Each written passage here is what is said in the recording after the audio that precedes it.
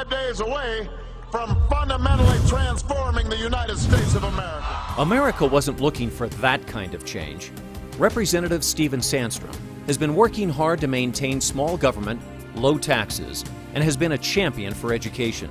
Utah, like America, doesn't need to be transformed. It needs good leaders like Stephen Sandstrom, who listens to the voice of reason and legislates responsibly. I'm Stephen Sandstrom, and I approve this message.